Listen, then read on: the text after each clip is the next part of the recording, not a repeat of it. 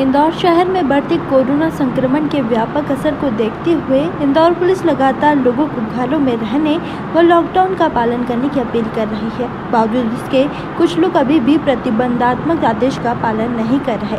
ऐसे में पुलिस को थोड़ी सख्ती बरतनी पड़ रही है। इसी के चलते परदेशीपुरा क्षेत्र में भी बेवजह घर के बाहर घूम रहे लोगों पर पुलिस ने सख्ती दिखाते हुए उठक बैठक लगाने के साथ ही लाठियाँ भी भांजी गाड़ी चला रहा गाड़ी क्यों चला रहा है ना